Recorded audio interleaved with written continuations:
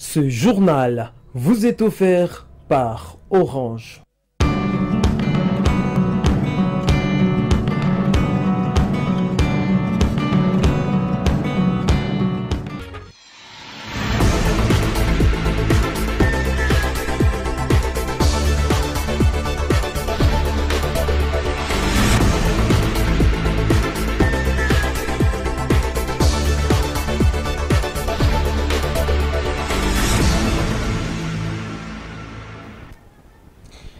Téléspectateurs fidèles, mesdames, messieurs, merci d'être des nôtres. Il est l'heure de vous informer. Bienvenue à cette édition du journal. À la une de l'actualité, le programme d'action du gouvernement provincial que dirige Madame Julie Ngungo Moyuman n'est pas jusque-là connu par la population sur l'ensemble de la ville de Kalemi, alors que la gestion d'une province repose aussi en grande partie sur les axes prioritaires. Mais au Tanganyika, ce n'est pas le cas.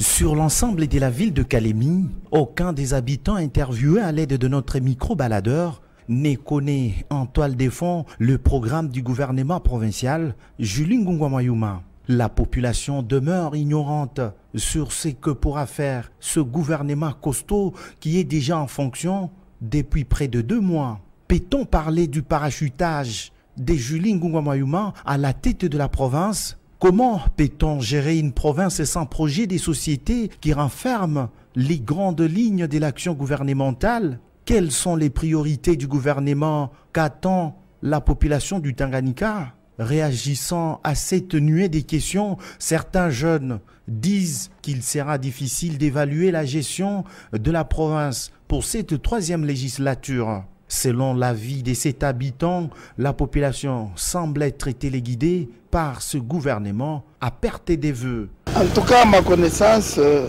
je n'ai aucune idée sur le programme. Parce que ici, dans la province, nous avons eu beaucoup de programmes, beaucoup de programmes, de manière que nous sommes tellement embrouillés. On nous parle toujours de très bonnes choses, au point où euh, on n'en connaît plus. Donc, sincèrement, pour euh, le gouvernement, nous ne savons pas euh, elle a promis quoi, qu'est-ce qui va être fait? Bon, tellement qu'on est habitué à des... Mais en tout cas, sincèrement, je, n'ai aucune idée sur euh, le programme de Mme Julie. Nous sommes habitués, même qu'il y ait programme ou pas, bon, les choses se gèrent toujours de la manière que vous savez. Nous restons toujours dans la pauvreté, nous restons toujours dans ce que nous avons. Qu'on nous promette ou pas, bon, franchement, mais ce qui est vrai, c'est qu'ici, nous, nous sommes en train d'être téléguidés comme ça à vue, mais nous ne savons pas vraiment où est-ce qu'on nous amène. S'il y a des gens qui connaissent le programme de Mme Jolie, tant mieux, mais personnellement, moi je ne connais pas. Je ne sais pas, elle attend faire quoi de cette province, quelles sont ses priorités, est-ce des routes, est-ce le développement agricole? En tout cas, je n'ai aucune idée. Mais moi, je préfère pour le gouvernement de choisir des axes prioritaires. Parce qu'on n'a pas tous les moyens pour faire tout ça. Il faut commencer par les infrastructures. Donc si on aménage les routes des desserts agricoles, eh bien le développement va de soi. Parce que les gens produisent d'eux-mêmes, ça va faciliter l'écoulement des produits, ça va faciliter la circulation de l'argent. Pour l'instant, la population de la province du Tanganyika reste en attente des réalisations du gouvernement provincial sur tous les plans. La direction provinciale de l'enseignement primaire, secondaire et technique Tanganyika 1 a organisé ce mercredi 17 août 2022 à l'école primaire Maendeleo une activité d'évaluation annuelle de performance dans les sous-secteurs de l'enseignement de la province éducationnelle Tanganyika 1. Ces assises ont connu la présence de différentes personnalités qui ont pris part à ce forum éducationnel. Georges Dégustener. C'est à l'école primaire Maendeleo que s'est tenue la revue annuelle des performances des sous-secteurs de l'enseignement de la province éducationnelle Tanganyika 1, c'est du 7 août 2022. C'est le ministre provincial de l'éducation, le professeur Koyamawa Okaya, ayant représenté l'autorité provinciale, qui a procédé à l'ouverture des assises auxquelles ont pris part différentes personnalités, notamment les chefs coutumiers, l'inspecteur provincial, les directeurs provinciaux du SECOP, le chef des sous-divisions et certains partenaires de l'EPST. Excellence, Madame le gouverneur Julie Ngungwa Moyuma, que j'ai le privilège de représenter à cet instant, félicite les organisateurs et rend vibrant hommage à son Excellence Félix Antoine Tshisekedi Chilombo, chef de l'État, au travers le souci qui le caractérise afin d'innover et moderniser le secteur éducatif en République démocratique du Congo. Le but poursuivi par ces assises est de passer en revue tous les problèmes liés à la gestion et au développement du système éducatif tel qu'institué par le gouvernement de la République dans la loi cadre de l'enseignement national. Ainsi, je vous souhaite une bonne participation et déclare ouverte ces assises de la revue annuelle des performances 2021-2022 dans la province du Tanganyika. Grégory Bolama, directeur provincial de l'EPST Tanganyika 1, entend quant à lui poser de nouvelles bases en vue d'améliorer certains indicateurs dans les secteurs de l'éducation. La revue annuelle des performances que nous inaugurons aujourd'hui s'inscrit dans la logique de la redevabilité, c'est-à-dire nous allons évaluer les actions qui étaient inscrites dans notre plan d'action opérationnel, PAO en sigle, de l'exercice finissant. Appliquer une thérapeutique sur ce qui a été réalisé, ce qui n'était pas réalisé et pourquoi, fait d'envisager les pistes de solutions efficaces tendant à la tête des objectifs auxquels nous aurons à nous fixer pour l'année scolaire prochaine. Débuté ce 17 août, cette évaluation annuelle prendra fin vendredi 17 août 2022. La carence en ciment gris s'est fait sentir depuis plusieurs jours à Kalemi et ses environs. Cette situation est à la base de la fermeture de plusieurs dépôts destinés à stocker ces matériaux de construction. Il s'observe depuis maintenant plusieurs jours à Kalemi, chef-lieu de la province du Tanganyika et ses environs, une carence des ciments gris due à l'insertion de la taxe de l'hygiène aux frontières reprise dans le système sidonien. On peut voir dans différents coins de la ville de Kalemi plusieurs dépôts destinés à les voir ailleurs. Ici, par exemple, à Kisebwe, nous n'avons trouvé qu'un seul et unique dépôt qui était ouvert. Le responsable de ces dépôts et importateur de ciment gris déplore cette situation qui met en péril la situation socio-économique de la population de la place. En fait, un sac de ciment qui s'est vendu autrefois à 27 000 francs et 27 500 francs nets s'achète aujourd'hui à 30 000 francs et à 33 000 francs congolais. Cette situation pourrait occasionner la rétention et la détention des stocks et les pires sera vécu à Kalemi. La Fédération des entreprises du Congo, section Tanganyika, lance un cri d'alarme à l'autorité compétente de revoir à la baisse cette taxe des 0,75 dollars qui met en danger les bénéfices des importateurs des ciments gris. Au regard de cette carence en ciment gris à Kalemi, la Fédération des entreprises du Congo, section Tanganyika, s'est exprimée par l'entremise de son vice-président Yuma André. Il a, lors d'une interview accordée à la RTGT, donné la raison de carence de ces matériaux de construction à Kalemi. À l'en croire, c'est la taxe de l'hygiène aux frontières fixée à 0,75 dollars par sac de ciment qui en est la cause. Et moi-même, je suis importateur de ciment gris. Euh, en Tanzanie, là où on importe le ciment, le ciment est toujours dans le même prix et il y en a beaucoup. Mais la, le, problème se pose ici chez nous. Alors, euh, dernièrement, il y, il y, avait la situation de carence de carburant, il y avait la hausse des prix des carburants. Alors, ça a affecté aussi l'importation des ciments. Après quelques jours, on a inséré la taxe de l'hygiène aux frontières. C'est une taxe qui coûte un peu très cher. On l'a inséré dans le système sudonien. Euh, par sac, ça coûte au moins 7 dollars et 0,75. Alors à partir de ces taxes-là, il y a beaucoup d'importateurs de ciment qui se sont découragés. Ils se sont retirés dans les affaires de ciment. C'est pour cela que ça a causé cette carence qu'on est en train de subir maintenant. Avant, ça se vendait à 27 500, 27 000. Actuellement, c'est 30, 33, ça n'a même pas de prix fixe. Les solutions, normalement, ça peut venir du gouvernement. La FEC ne peut pas avoir de, solutions. Puisque si le gouvernement peut désactiver quelques taxes pour que les commerçants aient encore ce souci d'importer le ciment, on va amener le ciment, ça va inonder la ville. Un message qu'on peut dire à la population de la ville de Calémie, qu'ils soient quand même un peu patients, puisque s'il y a moyen, les, commerçants ont besoin, ils ont ce souci de commercer le ciment. Mais question de notre gouvernement ici, avec les choses euh, de l'importation, il y a tant de difficultés. Alors, s'ils peuvent patienter, nous pouvons attendre le Simalac. Lorsqu'ils vont commencer à produire, peut-être le marché sera bon. Corrigez avec moi, c'était des propos recueillis par Dieu donné Balanga Hardy.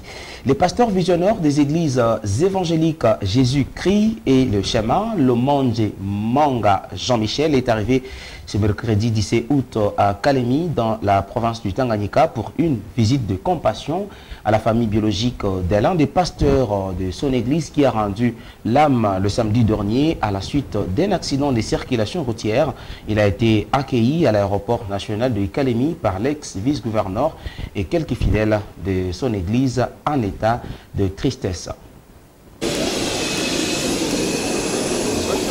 Des retours à Kalemi, chef-lieu de la province du Tanganyika. C'est mercredi 17 août 2022, par l'entremise de l'aéroport national de Kainda, les pasteurs visionnaires Lomanje et Jean-Michel dit être venus assister au deuil de l'un des pasteurs de l'ère église évangélique Jésus-Christ et le chemin. Communauté de Kalemi, du fait pasteur Moïse Kalonji, décédé le samedi dernier. Après avoir été accueilli par les notables du Tanganyika, l'honorable Alibino Marie Simukinje et quelques fidèles de leur église, cet homme dédié est revenu sur l'objet de son retour dans le Tanganyika. C'est pratiquement et précisément dans le cas du deuil. Comme vous le voyez, le décor que nous présentons, ça veut dire que nous sommes endeuillés. Notre communauté des églises évangéliques Jésus-Christ et les chemins vient de perdre quelqu'un qui était pour nous très important, très cher, c'est le pasteur Moïse Kalonji.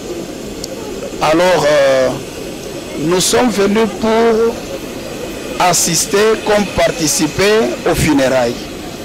Je prends ici euh, la même leçon que le vice-gouverneur honoraire Ali bin Omar Simukinje, qui avait aussi allé dans la même démarche lorsqu'il y avait enterrement du feu pasteur Moïse. Et ce qu'il a dit à la communauté, c'est exactement ce que nous pouvons peut-être ici reproduire en résumé. Lorsqu'il y a la mort nous, en tant que les chrétiens, nous ne devons pas nous acharner et avoir une autre interprétation. Parce que la mort et la vie sont l'œuvre de Dieu.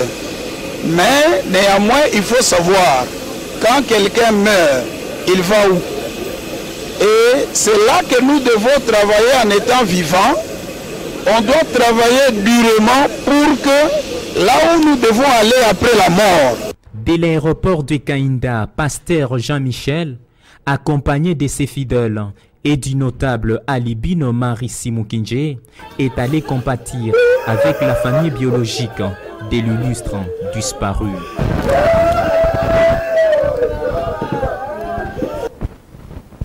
C'est après plusieurs enquêtes menées par euh, les autorités provinciales concernant les 12 enfants supposés avoir été kidnappés par une certaine Chantal ont été ramenés le lundi dernier à Kalemi. Ce mardi 16 août 2022, ces enfants ont été remis provisoirement entre les mains de leurs parents par les autorités locales. Les opérateurs économiques euh, du territoire de Manono poursuivent euh, leur mouvement de grève hein, déclenché depuis mardi dernier en signant de protestations contre les cambriolages à répétition dont ils disent être victimes. Ces commerçants disent euh, durcir leur mouvement de grève tant que les réponses favorables ne seront pas données à ces situations déplorées. C'était au cours euh, des pourparlers avec l'administrateur de Manono. Ainsi, il sollicite l'implication des autorités provinciales y arrivent pour des solutions rapides. L'évaluation de Félix Tshisekedi à la tête de la communauté de développement de l'Afrique australe est largement commentée par le nous a paru ce matin.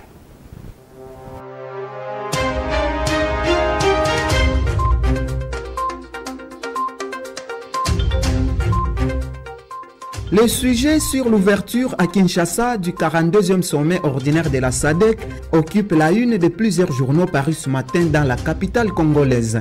Mesdames et messieurs, bienvenue à la revue de presse. Le journal La tempête des tropiques ne fait pas exception à la règle et titre en sa machette SADC Félix Tshisekedi prend les commandes. Ce quotidien fait savoir que le président de la RDC, Félix Antoine Tshisekedi Chilombo, sera investi président en exercice de la communauté de développement de l'Afrique australe, SADC en sigle, sur le sol de son propre pays. À marge de ses assises, note ce tabloïd, le chef de l'État congolais a reçu en bilatéral ce mardi à la cité de l'Union africaine le président du Malawi, Lazarus Chakwera, président sortant de la SADC. Lors de leur rencontre, signale ce journal, ces deux chefs d'État se sont entretenus à huis clos sur plusieurs points, notamment les échanges commerciaux et la suppression des visas pour permettre l'intégration des deux peuples. Ceci va passer par la construction des voies routières et ferroviaires, indique la tempête des tropiques. À ce sujet, poursuit ce journal, une commission mixte va être mise sur pied en vue d'analyser la faisabilité de ces projets.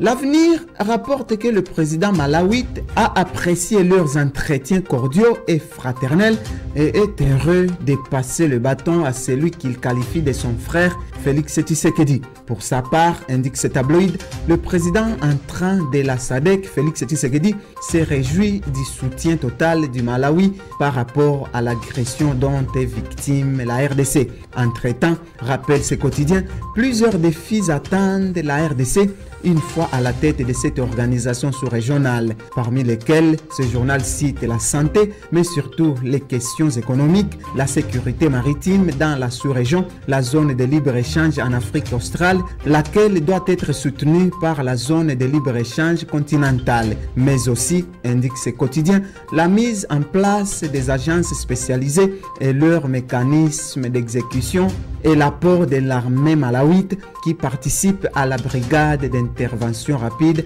à côté de la Zambie et de la Tanzanie. Congo Nouveau précise qu'un comité d'accueil restreint composé du Premier ministre Sama Lukonde, du conseiller principal du chef de l'État en matière diplomatique, Bouchiri Christian, du vice-gouverneur de la ville de Kinshasa, Jekoko Mulumba, de la bourgmestre de la commune de Lancélé, du commandant de la 14e région militaire et du commissaire provincial de la police, ville de Kinshasa, était au pied de l'avion pour accueillir l'un des nombreux hôtes des marques du président de la République, Félix-Antoine Tshisekedi. Cet hebdomadaire note que les chefs d'État de plusieurs pays de la sous-région sont arrivés depuis ce mardi à Kinshasa pour participer au 42e sommet de la SADC. Il cite entre autres les Sud-Africains Cyril Ramaphosa, qui a été suivi du président Philippe Nyusi du Mozambique, du ministre des Affaires étrangères angolais Tete Antonio et du président du Zimbabwe Emerson Mnangagwa. Congo Nouveau ajoute que le programme prévoit l'arrivée du roi du Swaziland ce mercredi, celle de Akainde Ichilema de la Zambie et celle du dirigeant du Lesotho dans cette même matinée. Mesdames et messieurs, c'est tout pour la revue de presse.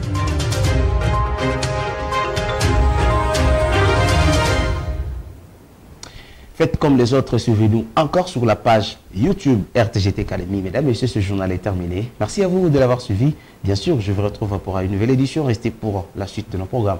À très bientôt.